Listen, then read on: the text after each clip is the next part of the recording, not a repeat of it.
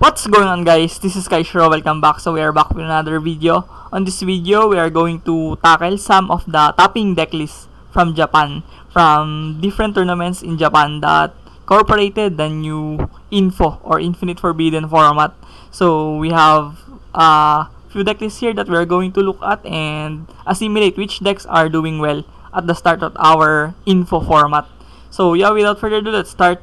Coming at first, we have 275th tayo CS top 4 we have Snake Eyes Fiendsmith so this is the recent valuation of the Snake Eyes uh, archetype no? We are uh, seeing a new version of the deck with the Fiendsmith engine on the deck and it made the deck absolutely better with the Fiendsmith line that can uh, turbo out negates and can easily link climb into Apollousa so they now have millage of uh, place that can prevent their board from getting hand trapped or negated.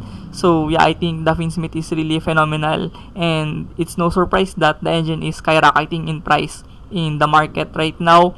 And yeah, it's no really a debate no because many people have anticipated it from the start that they have saw the Fiendsmith cards. Many people already have uh, anticipated that these are going to happen. So yeah, looking on the deck list, uh, just the standard Snake Eyes uh, cards. We have Poplar at 3, we have Witch at 3, and also the one wanted and 2 Ash that got uh, gutted from the previous ban list. And on this list, it plays 2 original, uh, quite different from the usual 1 forbidden, rather 1 original, no? So now it plays 2, and yeah, on the side deck, it plays the new hand trap, the much more uh, controversial hand trap of Multichami, the new Maxi they say, no? Most people are hyping this card as the new Maxi of the OCG format. But yeah, it's kinda different from the Maxi. It has different mechanics and different usage. But nonetheless, I think people are playing this card because why not, no? It's a draw card and improves your consistency and has mulligan as well. So yeah, very beneficial for a hand trap to overlook at. So yeah, people are playing this on their side deck right now. And yeah, moving on. We have next uh, we have 275th tayo CS. Second place we have Memento or Mementotlan. I really cannot pronounce the name really well.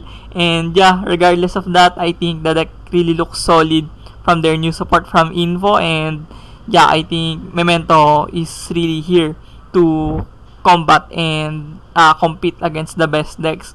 On my perspective, I rate this deck as a tier B or low tier A right now. And yeah, it's been really successful on the first few days and week of the info format. And look, uh, looking on our deck list here, uh, it's kinda streamlined into Memento monsters and with a bunch of utility cards and hand traps. Nothing too spicy or extravagant, but some decklists are running the Resonator package on this deck. And yeah, some also play Fiendsmith cards. But I do really think that Mento is a deck that should be played in pure version. So yeah, a very st streamlined and standard list here. And yeah, it plays a lot of links uh, like SP Little Knight and the Apollousa access code and IP Masquerena as well. Just the standard link generics and has access towards the Guardian Chimera which is very destructive going second. Uh, this is a very powerful card to deal against. And on the side I you play Solemn Judgment now. This is a good card to protect your board setup right now because most people are running different various cards like Board Breaker, Lightning Storm, Evenly Match, and sometimes other cards like Cosmic Cyclone, Heavy Storm, and I think Solemn Judgment is just here to protect your board. And yeah, moving on, we have a very spicy one here. We have 275th uh, CS champion decklist of Snake Eyes Fiendsmith Millennium. So, this is a more explosive version of the Snake Eyes Fiendsmith right now, incorporating the Millennium engine. So, Millennium brings another dimension for the deck. It improves the ceiling and overall resiliency of the deck because you now have different engines that you can always play through and yeah, gas up their opponents and overwhelm the opponent from using the Finsmith and Millennium engine. So Snake Eyes are just the usual triple witch and it only plays 2 popular right now. because the deck is kinda uh, tight, no? We have 45 card deck here and I'm not sure what cards are you going to trim if you are playing this deck. Maybe you trim the Veilers or Talent. And yeah, I think it's risky to decrease your consistency cards on this deck. And looking on our list, it plays Majesty Fiend, no? What a disgusting card to play against. Uh, this is a stun card popularized by Runic players, but now it is seeing play from the Snake Eyes Fiendsmith Millennium. So yeah, it really works wonder for this deck right now. And on the side deck, uh, it plays triple Droll. So Droll is gaining traction recently because most decks, even Tenpai Dragon, kinda struggles around Droll and Lockbird. So there's a lot of decks that can be affected by Droll and I think it's a good way to stop the decks from snowballing out of control. So Droll and Lockbird is kinda uh, silver bullet for most of the meta decks right now uh, like Voiceless Voice and other decks. So I think Droll is here to stay in our post-info format. Next we have Salamangreat no. So Salamangreat have been uh, deck that is around for our meta game for quite some time uh, since last uh, support of Raging Phoenix for their deck. Uh, I think Salamangreat has been phenomenal and there are no uh, backpedals for Salamangreat. They're still going to continue to perform even as a tier 4 or top rogue deck, no? Even though other decks are much more faster, much more better, has higher ceiling, has more gas, I think Salamangreat is a very decent deck to play on the format right now. And looking on our Salamangreat extra deck here, it plays Baguska, no? So it's kinda different from the usual Salamangreat extra deck. But now it plays Baguska from the Parallel Exceed, of course. You can turbo out the Baguska from the Parallel Exceed and you're guaranteed to stun the opponent when you go first and set up this very terrifying and obnoxious Bagooska. And once again, it plays Mulcharmy, no? So we are now seeing the impact of Mulcharmy on the OCG format. So I think it will depend on the format on how it shapes or how the turnarounds will happen on our format. Whether Mulcharmy will be a legit staple on side deck or even main deck of many people or just a tech card that is kind of fitted on the format right now, no? So yeah, it plays Kaiser Colosseum, of course, very strong card when going first. Uh, once you set up the board of Salamangreat with Kaiser, it is pretty much game over for other decks. And yeah, as you can see, it plays only one Cynet, Cynet Mining.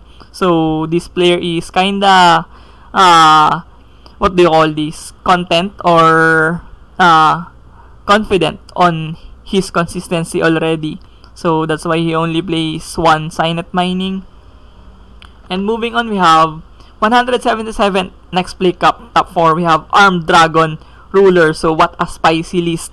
So this is uh, very different from our usual Tenpai dragon and dragon link uh, dragon decks that are we are seeing on the format uh, this time. It plays the very classic and very fabled dragon ruler uh, paired with armed dragon that is kinda not that relevant no on the metagame uh, it's been a long time since we have seen Armed Dragon on the relevance of our format. But yeah, this player really cooked something on this deck list. He plays triple Seka, no? Just to provide consistency and resiliency for the deck. And yeah, plays the Dragon Ruler and Ar Dark Armed Dragon. So you have toolbox for level 7. We have Arise Heart here. Very powerful card when going first. Can shut down the graveyard entirely and on the side deck, I think this is uh, very upside or uplifting uh, tech options for this deck. It plays triple Lava Golem and triple, rather double Spear mode. So these guards are very powerful when going second. Most people are not anticipating these guards and most people are neglecting to play the pointer of Red Lotus. So they are really not prepared against this card. So I think the going second board game of this sideboard game of this deck is top notch as well. Next we have uh, Supreme King Magician from the same tournament X-Play Cup. It's been a very uh, titled locals in Japan and there's a lot of good players on X-Play Cup so we cannot take these decks for granted like the Armed Dragon, Dragon Ruler earlier. So yeah, I think this deck is kinda uh, what they call standardized already na nothing too extravagant or ridiculous going on. Uh, plays triple Dragon Shrine no. Some decks are playing only two because even though it's a one card combo, sometimes you have a lot of starters already on your hand and you're pretty much good to go to combo off using those cards. But yeah this player opted to play triple Dragon Shrine and Dragon Shrine is one card combo uh, almost FTK already due to how many negates and uh, disruptions that you can set up from this one card. And yeah I think this deck is still here to perform I think Supreme King Melodious is a very Supreme King Magician is a very powerful combo deck. And also most people are not playing anti-spell fragrance on their side deck evidently right now. And I think that's the leeway for the pendulum decks to shine on our format where anti-spell is not that heavily played um, like before unlike before.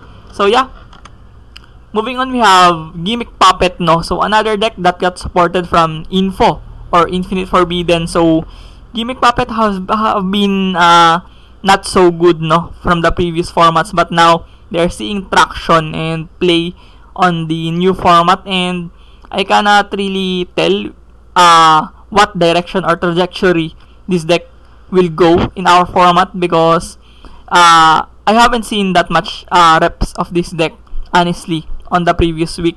And I think there's a lot of people that play this deck on YCSJ or YCS Japan on recently and they have not that uh, performed extremely well and some managed to top 8, top 32 and top 64 and that's pretty much about it. So it's not really a good data to gauge whether Gimmick Puppet will eventually uh, uh, going to be a mainstay on the tier list. But for now, I think this list looks solid enough to use as a reference, no? When you're trying to pick up the deck and you don't know the ratios and you don't know which cards are you going to put. And I think this is a good list to look at. And yeah, I think most people should emulate this deck moving forward. And on the side deck, it plays the Gamma package, no? As the format uh, folds, I think most people are not gauging to play the Gamma package and I think other cards are much more better rather than the Gamma package such as Phantasmi. Most people are playing Phantasmi and of course Ghost Ogre. You need to have Ghost Ogre to answer that Tenpai Dragon and the other going first cards like uh, Summon Limit, Anti-Spell, and the Solemns. So I think as we dive deep in our new format, I think less and less we're going to see the Gamma package. And yeah, moving on, we have 276 Tayo CS or Sun CS from Japan. We have second place Snake Eyes. So, unlike the list from earlier from the Finsmith and the Finsmith Millennium variants, this is the pure raw version of Snake Eyes. And I think this uh, deck is still very solid, no?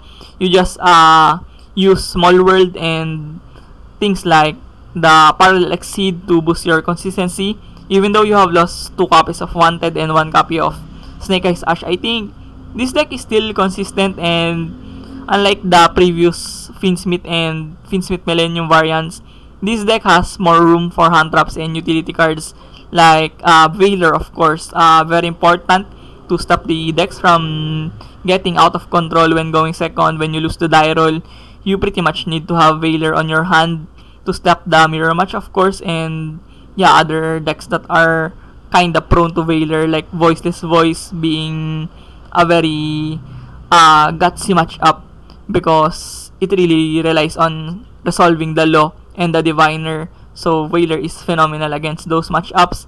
And on the side deck, it plays Bystial. Very underrated, no? Most people are not really into playing Bystials, but for me, I think Bystials are solid. You are having two good cards against Voiceless Voice and you prevent the Law Saphira from getting their effects from the Voiceless Voice and we cannot lie, Voiceless Voice is heavily played on our format due to the deck being uh, kinda easy to play, uh, affordable, of course, uh, aside from the Diviner. And yeah, it's been a mainstay and a staple deck already for quite some time on our format since last year. So yeah, I think you should be prepared on dealing against Voiceless Voice no matter what. So yeah, moving on.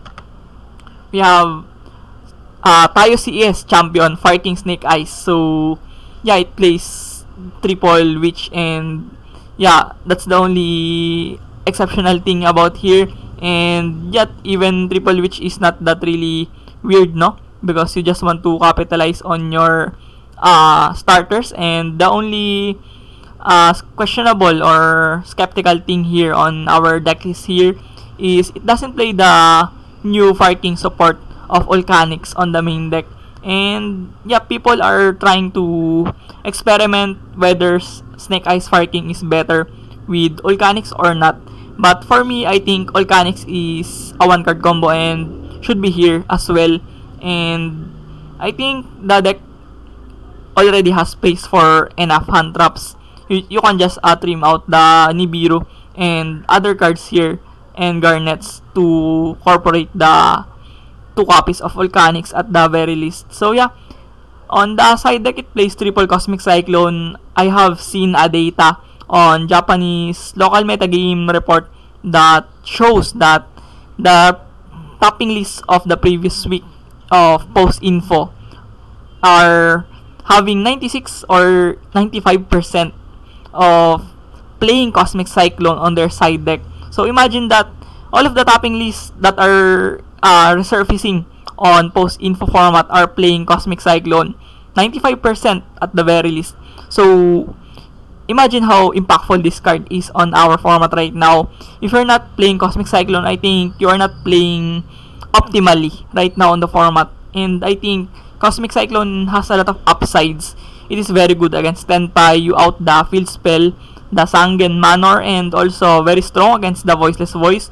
You out the uh, Silent Forcing Barrier. So I think this is a very solid card right now on the side deck and very flexible as well. Uh, you you never know when you're going to run against uh, Floodgate Labrynth or Runick, of course, very pesky, very annoying.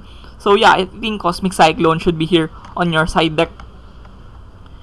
And yeah, next we have Snake Eyes Smith. So I think it's the same list as earlier. Yeah.